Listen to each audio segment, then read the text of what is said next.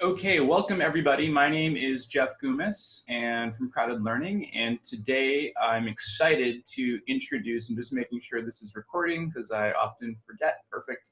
Um, today we're going to be introducing the EdTech Makerspace, uh, which is a new initiative from CrowdED Learning focused on helping educators learn how to use popular educational technology tools such as Quizlet, Kahoot, Wakelet, and others, and in doing so, get practice using that tool while creating free and open education resources that can be used by other educators. Um, this is something I have been sort of threatening to do for some time now, and I'm really excited that we are about to get started on our first cohort. I'm gonna back up one slide real quickly.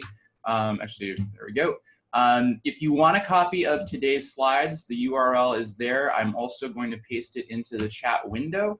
Um, this will be sent out following uh, this webinar a little bit later today, actually probably Monday, because I have a few things I want to make sure are, um, are fully done so that I'm not sending too many follow-up emails. But uh, the webinar slides will be sent out. A video recording of today's webinar as we're doing it right now, will be sent out as well as a Google form uh, inviting you to participate in the summer 2020 cohort of the EdTech Makerspace if you are so inclined after today's webinar. Yesterday, we had about 40 some odd folks, um, and almost all of them were interested in participating in some way, so I'm really excited about that. Um, and uh, hopefully you are today as well. So this webinar should run about 45 minutes, and the goal today is to really just introduce you to what it is that the EdTech Makerspace is. And we're actually going to work backwards. So we're going to start with sort of what are we trying to create um, as part of this upcoming cohort. So we'll look at the content that we're going to be working with as part of the EdTech Makerspace and the tools that we're going to use to take that content and build additional engaging resources that supplement that content so that our end product will be a full set of resources that takes something that was great to begin with and makes it even better, and all powered by adult educators such as yourself. Uh, then we'll just talk about why, why we're doing this, why it's important um, for us to be thinking about working collectively together in creating resources um, to just help adult education move forward with embracing and integrating high quality resources and educational technology as we face an uncertain future of whether or not we'll be um, in person or remote or an increased sort of combination of both because of some of the uncertainties that we have at the moment. And then finally, uh, we will do a walkthrough of what to expect with the EdTech Makerspace if you choose to participate. So walking through the process from sign up to how trainings will occur, to how you uh, work and create content, and how we can all work together to make this a supportive and hopefully fun process. Uh, and then we'll have time for some questions at the end. So I'm gonna actually uh, close my, uh, or stop my video so that my thumbnail is not in the way of the recording. Um, and thank you everyone for uh, introducing yourself. We have a great range of teachers from I think about 10 states now, if I'm not mistaken um, or over 10 states, so that's exciting. So what is it that this EdTech Makerspace um, is planning to create?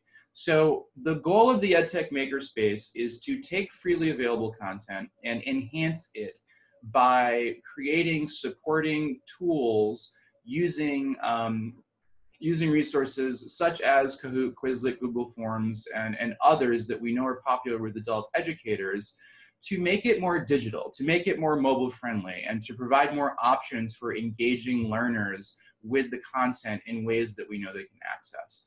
So the content that we're going to use for this first cohort, and I would say it's ambitious, um, is reading skills for today's adults. Now, many of you are probably familiar with reading skills for today's adults. It is an excellent resource that has um, 348 readings at early levels, and it is an openly licensed library of resources. So you'll see there's 16 levels. Each of these levels has about 20 to 25 readings within it that are all lexiled at those levels, and it starts at early lexile levels. So I come from a publishing background, and I worked for eight years in educational publishing for adult education, one of the things that we always heard from educators was we need more low-level readings that are um, at the Lexile level that's appropriate for early readers, but that are contextualized for adults and that aren't childish. And that's a challenge um, to create. Uh, this library, Reading Skills for Today's Adults, was created by um, Southwest Minnesota Adult Basic Education, who saw the same need and decided ultimately to create their own library. The library is about 10 years old now, and they've done some recent updates to it to provide even more supporting resources that go with it, and that's the content that we're going to be working with. Uh, the nice thing about this uh, Reading Skills for Today's Adults is that there are audio recordings of every single one of the stories. There's actually three per story, and all of those are designed to model fluency for learners, whether or not they're working with a teacher or working independently just on the website. And as part of the update that Southwest Minnesota Adult Basic Education did recently to Reading Skills for Today's Adults, they added an activity supplement that not only supports the reading with things like comprehension questions that go along with it, but that also have vocabulary activities, grammar activities, speaking activities, uh, and writing practice that all deal with the story and all work in contexts related to the story. So it's a really, really great resource. Um, again, the reason that I'm excited about using this resource in particular is it addresses a need that we know exists in terms of having um, readings that align to the appropriate levels for adult learners. And I actually, I forgot to update the, these should actually be shrunk. Um, the readings are all at CCRS actually starting at level A, B, C, and some D. So these are at the earliest levels of Lexile as defined by the college and career readiness uh, standards for adult education. And so, you know, there's again 348 readings, but they're all focused on early levels as opposed to what we typically see, um, which are readings that tend to work for intermediate and higher level ABE students. Um, just one note, because many of you may be familiar with reading skills for today's adults. As I said, this site has been around for, I think, over a decade. Many of you may be familiar with and might even call it Marshall Adult Education because that's actually the individual organization that created the original library. And on the left, you can see that that is what um, that website looks like. If you Google reading skills for today's adults, that is the website that you're going to get. So I encourage you to make sure that you pay attention here um, this is the correct URL. It's reading skills for the number four today.com. And that is the website that has the updated readings with all of the various resources. So I'm actually gonna hop into the reading skills for today's adults website so that you can see um, what it looks like. And again, this is what educators we know are using very widely. So as part of my work at CrowdED Learning, uh, we're often polling teachers on what are the free resources that you're using. Khan Academy is always number one, but I would say that one of the more popular tools that we hear folks are using is reading skills for today's adults. So I'm going to look at this uh, story, Calling in Sick, but before I do, as I mentioned, and as the title suggests, these are stories designed for adult learners. So when you look at these titles, they're dealing with things such as work and safety and nutrition and parenting uh, and health. So the, the topics within these stories are designed to, to deal with issues that adults deal with. Um, and so, sorry, I clicked on the wrong one, or maybe I didn't. Perfect. Um, we're going to go to, sorry, I got to go back. Uh, I'm going to go to calling in sick. And so this is the format of um, the content on the website. When I click on a story, I see the story here in the right-hand pane. And I also see these count, word counts for each line. Um, that's because the resource itself was designed specifically to help learners develop their fluency skills. And so this is a word count per line, and you'll see there's a countdown timer here, so that if you click on start, the timer is going to start, and then a student can read um, and then wherever they get to in their reading, that's going to help them sort of understand their words per minute. Now, uh, fluency is one component of evidence-based reading instruction, and uh, speed, the speed with which someone reads, is obviously part of fluency, but it certainly is not the most important part. Uh, understanding how to read with the proper inflection, understanding how to chunk text appropriately to, to put in pauses where they're intended, and use intonation that, that uh, suggests that you, you comprehend the text because of the intonation that you use are all part of fluency. And so uh, to support that, every story has three recordings. And so what you'll see here is the recordings themselves go from one that's minute 29 seconds to one that is 25 seconds shorter to one that's about 13 seconds shorter. Uh, and the reason for that is because each of these recordings is focused on supporting different elements of fluency. So for a second, I'm going to play this first one. And gets ready for work. She puts on. So you'll see that this first reading, the reason it's longer is it's literally focused on word by word decoding in a fluent manner within a larger body of text. There's not a lot of intonation, there's no chunking. It's just helping the learner hear each word and the proper pronunciation of each word. So it's almost decoding in some ways um, as opposed to you know fluently reading an entire text. The second reading you'll notice is going to be a little different. Combs her hair. Then she lies down on the couch. Lynn does not feel well. So you'll see this recording gets into more of the chunking of texts and putting in the appropriate pauses. And so it's helping that student understand sort of the pacing that one should read, particularly related to pausing when it's appropriate based on either punctuation or, or based on some of the words that are actually included in the text. And then the third reading actually is is designed to to model complete fluency. So with all of the proper prosody, intonation, fluency, chunking, all of that, um, and that's obviously why it is the shortest. And what you'll see on the left-hand side is a number of other resources that support the story. Now, if if if your students are like most students that I know, they're not necessarily downloading these and printing these out. So in often cases, that's something that would be a teacher driven act, right? Like where I'm going to print out these for students. And I, I want to make mention of the fact that those are there. I did see that someone's from, um, I believe, correctional settings. All of these stories have downloads that include pre questions, um, post questions, the story itself, uh, and then a supplement, which is actually what we're going to look at because it's this supplement that is the is the is the content that we're going to be dealing with as part of the EdTech Makerspace. So if I go to this next slide, um, we're going to see that supplement for the story we were just looking at.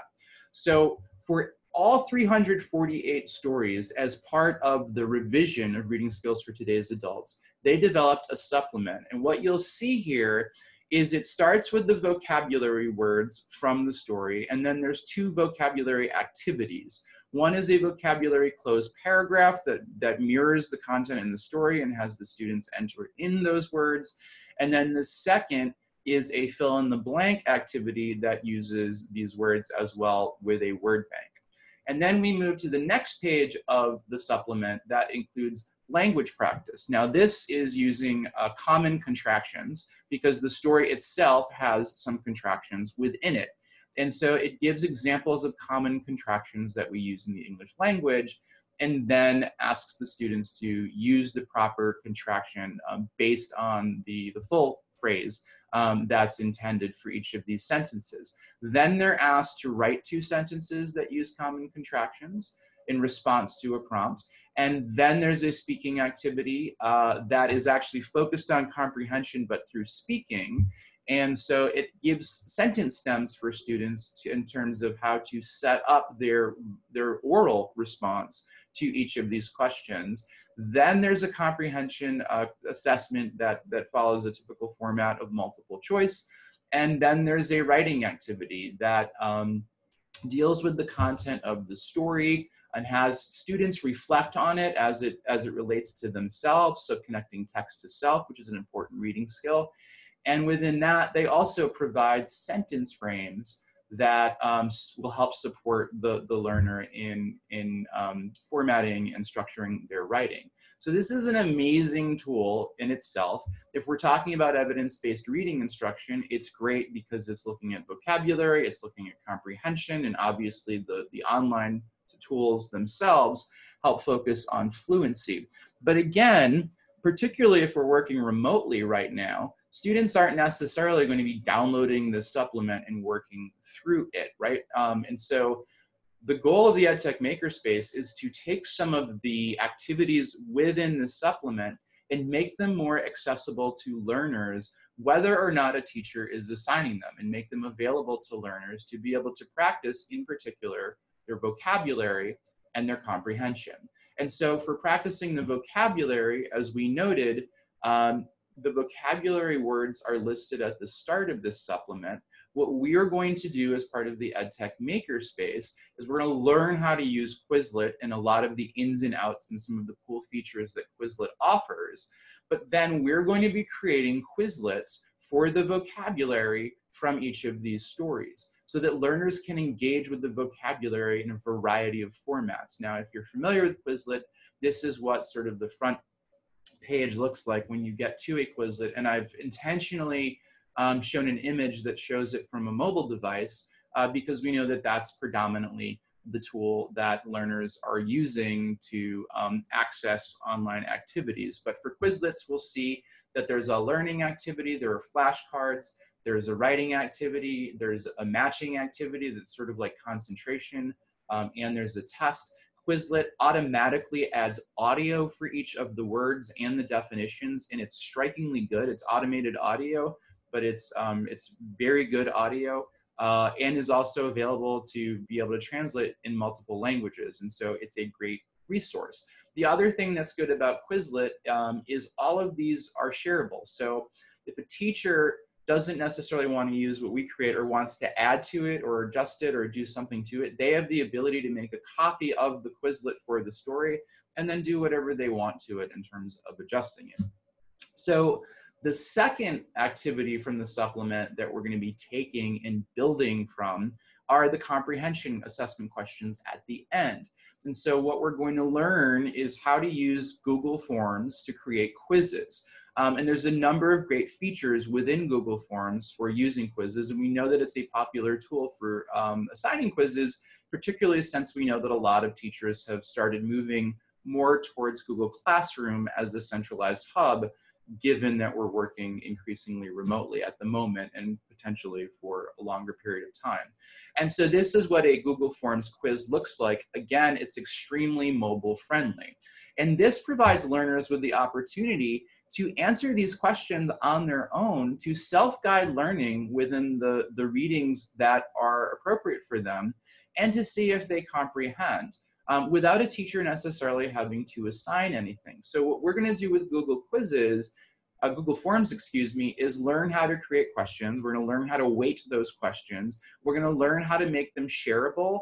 Um, a lot of people don't realize that you can uh, set a Google quiz so that if someone clicks on a link, that they automatically get a copy of that quiz so that they're getting the information from that quiz, as opposed to a lot of quizzes that are posted. Yes, the learner gets their response, um, but the teacher doesn't see the back end data. And so um, this will allow for folks to actually, um, to, for you to learn how to create uh, quizzes that can be copied by other educators, uh, as well as selecting a correct answer and providing answer feedback. So you're going to learn all of those skills as you learn how to use Google Forms by creating quizzes for the assessments from these stories. So then the last tool that we're going to learn how to use is it's great that suddenly through the work that we do, there's going to be a vocabulary a study set with Quizlet. There's going to be a Google Forms quiz that tests comprehension and obviously the original story. But how are those things going to be pulled together so that a student can access them all in one place as opposed to bouncing around to a bunch of different places. And we're going to use a tool called Wakelet that allows us to do that. Wakelet is a tool that allows you to pull videos, to pull uh, URLs and other things into one what's called a collection so that uh, students don't have to be going to different websites or entering in different URLs. The Wakelet provides a hub for your activity and you can put any of the links that you want students to be going to in that Wakelet. Wakelets are extremely shareable, um, and we're gonna look at what that looks like in a second so that students can um, uh, be able to, you can assign it through Google Classroom, you can assign it through Remind, you can assign it through Microsoft Teams, which is actually a, a, tool and hub that some teachers have been moving towards in, in the midst of COVID. Um, or you can share them out as links in, in whatever format you share things out, and then students can immediately access it. So I'm gonna stop for a second and take a poll, because we're looking at five different resources now um, excuse me, four different resources now, no, five, no, four, I can count, um, that we're going to be talking about today. So I'm interested in hearing from you. This is a poll that's now going to pop up on your screen. Please select all that apply. Which of these tools or resources have you used before um, or used to create resources?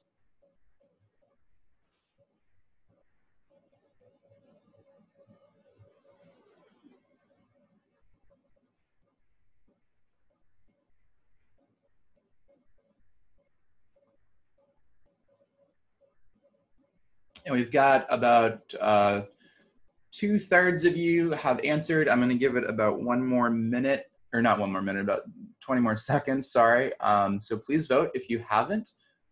This is really interesting to see. It's, it's on par with yesterday, um, more or less. All right, and I'm going to close it in three, two, one. All right, we're going to end the poll and I'll share the results.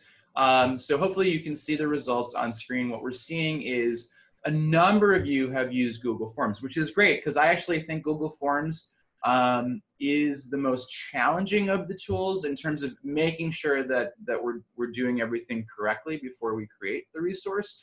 Um, so the fact that you, you have a background with Google Forms, or many of you do, um, will be helpful. But we will be looking at a number of different elements of each of these tools, even beyond what we're actually going to put into the resources we create. So we will be providing training um, that gets into some of the um, uh, cool and uh, interesting um, elements that you, you can do with each of these tools. Um, and a few of you use Wakelet, that's good, but Quizlet and Google Forms, uh, both yesterday and today, those were the two sort of more um, widely used resources by students. Someone asked a question, sorry if I missed it, can you give the range of grade levels this is appropriate for?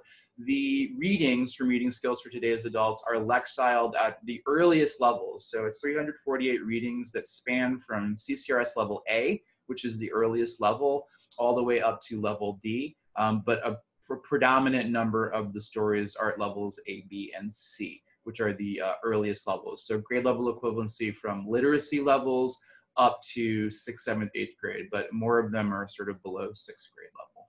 Um, so we're gonna move on. And so the result is going to be this Wakelet library and um, where it will be housed, learners and instructors will be able to access it via the CrowdED Learning website. We're going to encourage Southwest Minnesota ABE to actually um, put it on their site as well.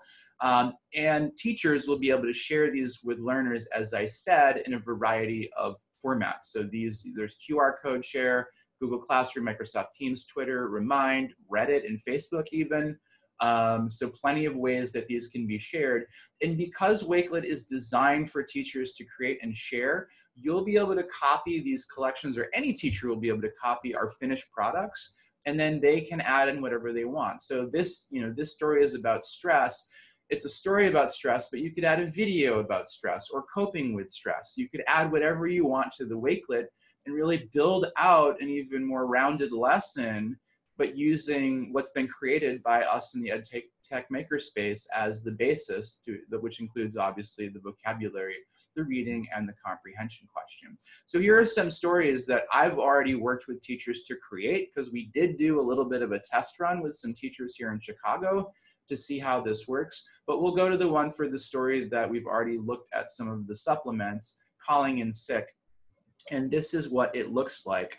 I'm also going to uh, show you what it looks like on a mobile device, partly because I'm just super jazzed that I've learned of some new tools that allow us to share um, screencast uh, using our mobile device, which I know is important to learners. So basically you see we have um, calling in sick, there's an introduction, and we're gonna follow the same format for all of the Wakelets and even the tools within to make sure it's a, it's a consistent structure. One of the challenges that we know uh, that, that prevent folks from using free and open resources is they sometimes are all over the place, like you're picking a lesson here or a video there or reading here, and it's not consistent like a curriculum would be. And so our goal is to really make sure that all of these are built consistently with consistent introductions so that they all sort of follow a similar, the same format. And so teachers can be assured that it's a consistent resource. And what we see is we've got the vocabulary, we've got the reading selection, uh, and we've got the comprehension question. And at the bottom, we indicate, because this is openly licensed content, we're making sure to let folks know the content that was used for this comes from Reading Skills for Today's Adults. And it's licensed in a certain way, which we're gonna, I'm gonna show you in a second what that means. Before I hop on into that, I am going to share my screen differently. Um, and just so you know, because this is literally something that I learned this week, is if you have an Apple device, you have the ability to share your screen um, and cast your phone into Zoom so that people can see your screen. So I'm doing that as we speak right now. I'm actually not sure what you see at the moment, but in a second, maybe this could. Zoom's been a little interesting. This is a new tool. In a second, you should be able to see my phone. Now I'm going to ask, can you see my phone? I'm going to ask that in the chat because it it doesn't. Um, oh, I'm sorry. Thank you for letting me know that you can't see the poll. And I'm going to share my screen differently. It doesn't seem to like if you hop from a Google Slides uh, to the phone. So I'm going to mirror my phone now. I think this will work better. Here we go. Can you see my screen now? And thank you for letting me know that the poll was still in the way. Perfect, awesome. You guys are great. So this is uh, what you can do with Zoom. Now, well, you, oh, I got a notification from Starbucks. I thought I shut, shut off my notifications. So one thing to be careful of if you're screencasting is that. Um, but I'm really excited that I discovered this because one of the things that we're trying to do is let folks know how to use these different apps and it's really important uh, that yes, we do all need a little Starbucks. Thank you. Uh, that we're able to model this with students. I literally put on Do Not Disturb, and now everything's popping up. But I'm going to go to Wakelet so you can see what this looks like um, from a student perspective. So it's interesting that people are saying they can still see the poll. Oh, interesting. There, I think I may have just gotten rid of it now, hopefully. Uh, this is what Wakelet looks like on a, um, oh my gosh, this poll is annoying. um, oh, so I think you might have to hit close on your own screen, someone is saying, that you have to close it out yourself. Um, that's interesting. I didn't know that. So if you close out the poll yourself, obviously you wouldn't think that you could close something out in Zoom, but apparently um, it's up to you to close that poll so it's out of your way. And hopefully that um, worked for you. So I use Wakelet for all sorts of things. I create resource directories for teachers. I use it to create actually full-scale lessons. Um, I use it to guide uh, professional development. So if I know there's uh, like, I'll, I'll put the presentation slides and if there's activities that I want teachers to do, I'll put those activities in the Wakelet so that they're, they can launch from that and I'm not having to share a bunch of different um, resources. But here's that same story, calling in sick. And I have a little bit different view because I own it um, as opposed to what a student would see. They wouldn't have a button here that says add an item. But this is what it looks like from a student perspective. So again, I've got the an intro that's saying what it is. I have vocabulary practice with directions. I have a reading selection, and then I have comprehension questions. And so if I click on something like the Quizlet here, it's going to launch that Quizlet. And the nice thing is it's launching the Quizlet in Wakelet. Um, and so basically they can work through these activities here and then just click on the X up here and um, it'll bring them back to the wakelet. So they're not hopping out into anything, although they do have the ability, if they were to click up here, to open it up into uh, a, another window if they wanted to. Um, but it's a really great, um, uh, Wakelet is really great because it does, not only does it pull things together, but it keeps students in the Wakelet, if you will, um, so that they're not bouncing out and getting confused by it. But this is the end product that we are going to be creating um, by way of the EdTech Makerspace. And I'm gonna stop sharing my phone and go back to the presentation. And here we go. So why are we doing this? Uh, well, first of all, um, we know that teachers are looking for more ways to share, in particularly mobile content, because of the fact that um, we're increasingly working in a, in a virtual or distance learning environment. And so we need more tools and we need more resources that are available that are easy to assign and easy for students to access. And in doing that, it's great if the tools exist, but we also want teachers to know how to use these tools effectively and not just use the available resources, but to be able to create their own resources if they want. Um, and in doing so, we're just putting more content that's out there. Teachers are developing skills and we're providing more ways for learners to engage with content, whether or not there's a teacher assigning it or, or they just want to provide students with access so that they can do self-study. One of the teachers yesterday asked, well, how, does, how would a learner know where to go? Um, what if I don't know the learner levels? And there are tools like uh, Read Theory that allow you to diagnose a student's um, Lexile level. And then once you know that information, like what, if you know their TABE level or you, you know their Lexile level from a diagnostic such as um, using read theory, then you can tell the students exactly what set of stories are appropriate based on uh, their reading level at the moment. And then they, they have the ability to work through as many readings as they want. And again, they're, they're on topics that are, are relevant to adult learners. Um, another thing is, as I've mentioned already, we just want to take something that's really good, the, the reading skills for today's adults uh, library, and to make it better. So by doing it and containing everything in a Wakelet, it's easier to share these readings with learners.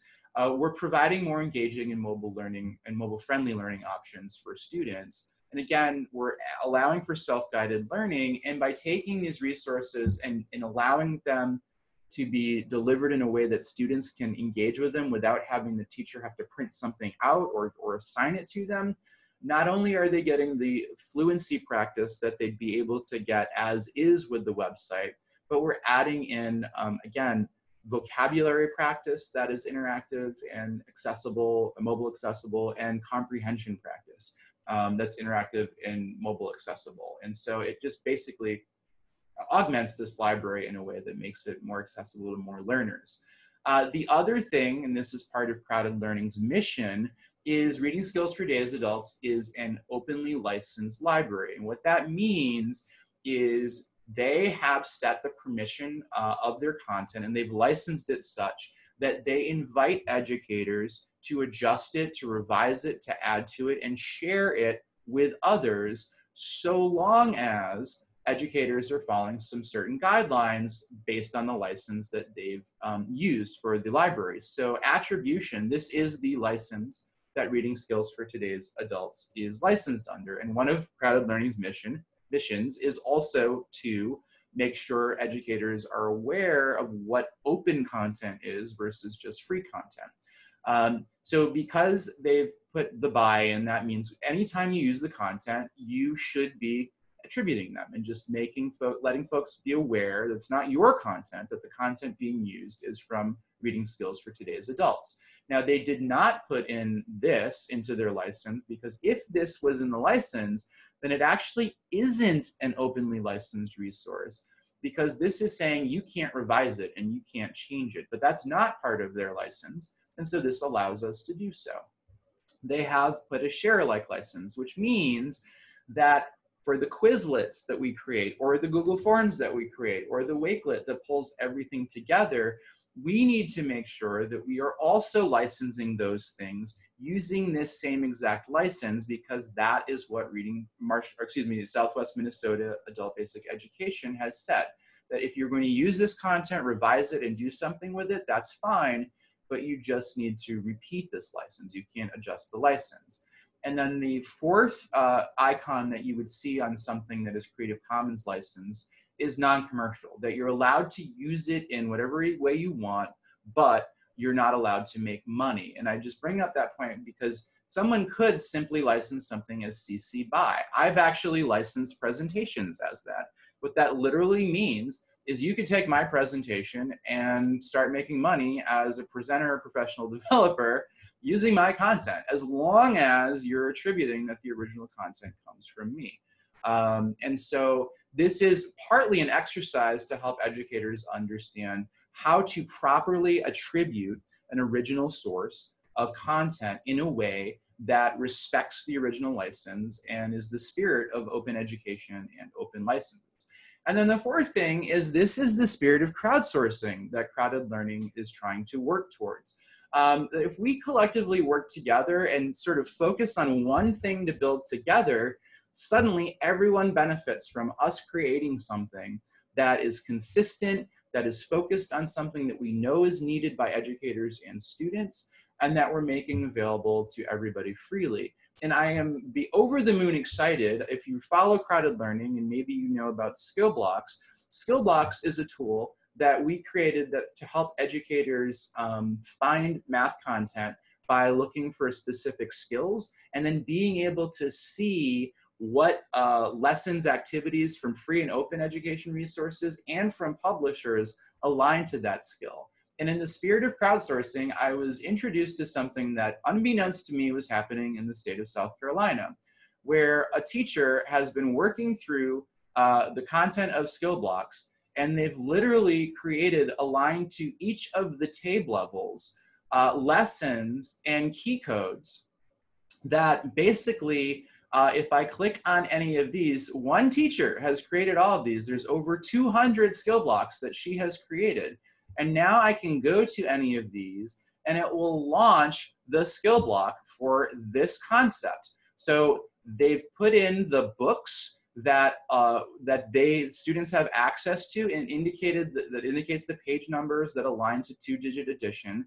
And then here are all these free resources from Math is Fun and one from PhET that align to the concept of two digit addition. So one teacher, I think it might be more than one teacher, but I know one teacher has been leading it up, and suddenly everyone has access to these skill blocks that provide the, the, the, foundation for a bunch of different resources that align to a particular skill.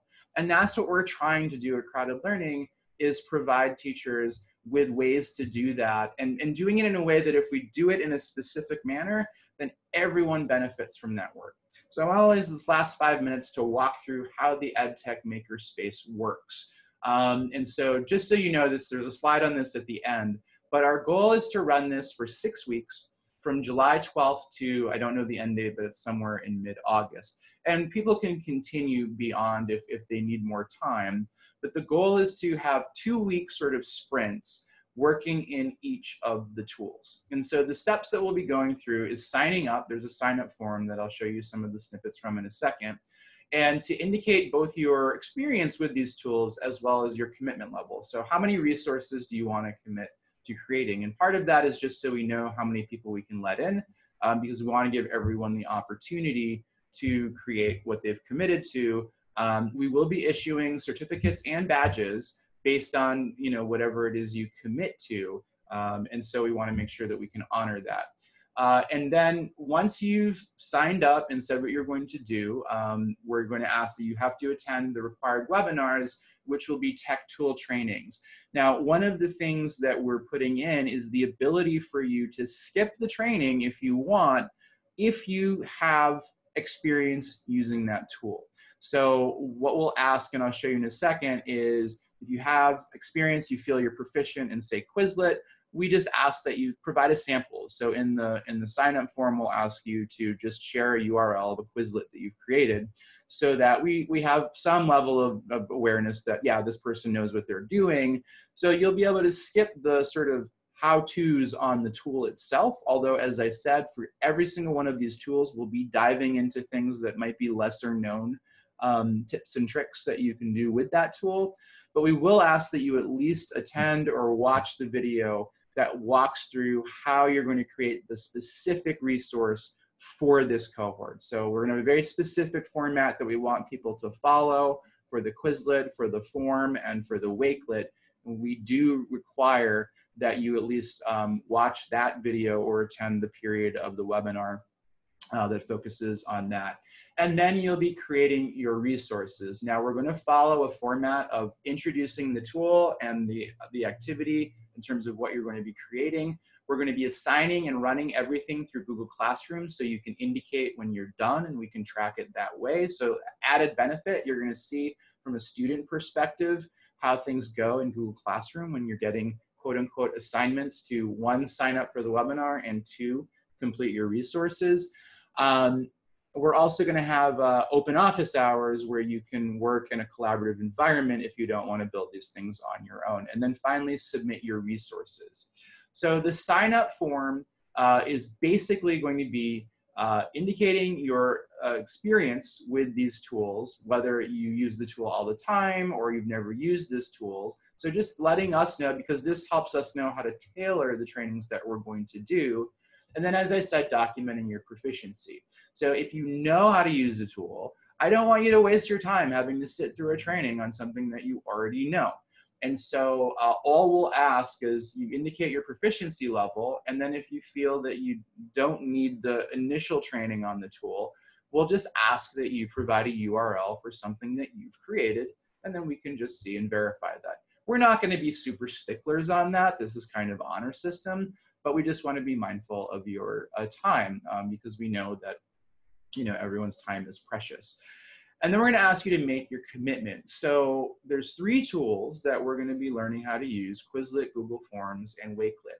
You may just be an expert at uh, Quizlet and you don't even want to do the trainings. You just want to volunteer to help make some Quizlets because it's something that you know how to do. It's a breeze. So we'll just ask that you commit to creating uh, 15 Quizlets. Um, and that's it. Like that will be your entire commitment, and then you can go forth. There'll be a sign up sheet for you to select the stories and the resources that you want. It'll be an open Google Sheet. Um, and so you can just do that. Uh, or you may decide that you, you don't want to learn all three tools, but you're, you've been really interested in learning how to use Wakelet. That's great. So you do the Wakelet training and then your commitment will be to create a certain number of Wakelets. Now, Quizlet will be 15 learning resources because of the fact that in the grand scheme of things, it's the easiest one to create. Um, and then for Wakelet and Google Forms, it'll be a lesser threshold if you're just doing that tool. Uh, but you also have the option to create five complete resource sets for five stories. So that would be creating the Quizlet, creating the form, creating the Wakelet. Um, and that would involve you selecting ideally the three resources from one story. And the added bonus, if you do that, remember we're talking about attribution. Um, what we'll invite you to do then is on the wakelet that you'll have the ability to say that this wakelet was created by you um, and is has been created using content from you know whomever. So again, getting some practice understanding how to properly attribute, but we want to give credit to teachers who have taken time to build um, these resources. And so, you know, we'll, we'll allow for that um, so that you're getting credit for the, the, the commitment that you're making to developing your skills, but also the commitment you're making to creating resources that other educators and learners can use. Um, and so basically, you'll attend, the, you'll get an assignment asking you to attend the trainings for the tools that you've selected that you want to learn. Um, and again, it's a 90 minute webinar. The first portion, 60 minutes, will be diving into techniques and how to use the tool. And then the last half hour or 15 minutes really will be focused on the specific way in which we want you to create a Quizlet, a form, or a Wakelet for the assignment that you'll be getting, getting, excuse me. And then you'll be creating your resources. So again, we'll be assigning that it's time once we know that you've attended to create the resource. Um, and all you'll do is once you've done your resources, you're going to be pasting your URLs into a shared doc, and then you'll just uh, mark as done when you're finished to indicate that you're finished. When you're given the assignment to create the resource, you'll be given a video that walks through the steps. You'll be given a guide that shows exactly how we want the, the Quizlet, in this case, created for these reading skills for today's adult stories. And you'll also be given links to models of the finished product so that you'll see what it is you're aiming to create for the stories that you've selected. Um, and as I said earlier, if the format that we're going to follow is very early in week one of each sprint, you will learn how to use the tool through the webinar. And then at the tail end of that week, we will offer an open office hour for you to work um, using Google Meet in an environment uh, where you can ask questions of other teachers or me um, and build alongside others so that um, you can be in a collaborative space as you're doing so. And then we'll offer that again early in the second week. So for each tool, we intend to have two open office hours for you to be able to ask questions in real time of other educators or of myself. Um, within that, uh, we do want to offer volunteer opportunities for, for folks. Now, obviously, this whole thing is in a, in a sense a volunteer opportunity, but you are, you know, it's designed for you to learn new skills. However, if you're really proficient in one of these tools, we would love for folks to offer up being a virtual tutor um, which would mean that hopefully you can attend one of the open office hours to support other educators in answering questions, as well as monitor the chat, uh, the stream within Google Classroom to answer questions that folks might pose.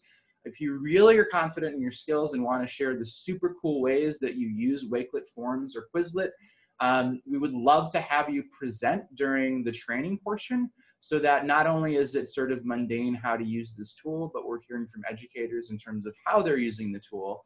And if you don't feel really confident in your proficiency on any of these tools, but you want to help out, we're definitely going to be looking for reviewers. And the reviewer's job is going to be to basically, um, once folks have submitted and say, I'm done with, with the resource they've created, the reviewer's job will be to basically just look at the re resource, make sure the link is correct, make sure the words that are in there are correct, make sure that it's been attributed correctly, and then sign off and say it's done so that there's a level of quality control that we're all working towards. Um, and so then we know that those resources are ready to then ultimately get put into um, the Wakelet as well as into the library of resources that teachers will have available to them.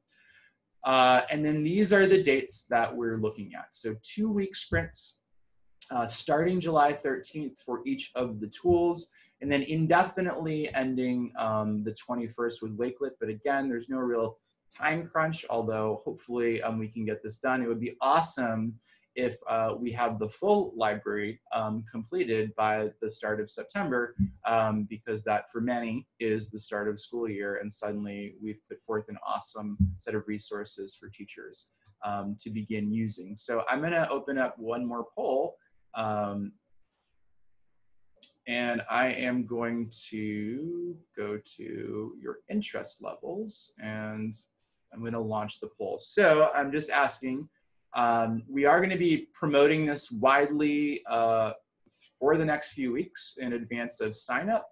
Uh, but I just want to know what your interest level is, and you can select multiple.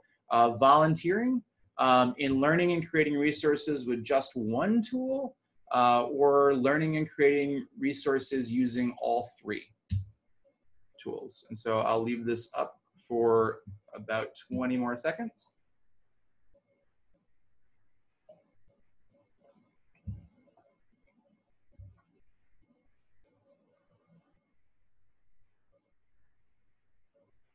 Cool, thank you. We've got about two thirds have indicated, and that's awesome to see that many of you are interested in participating. Um, awesome, awesome, awesome.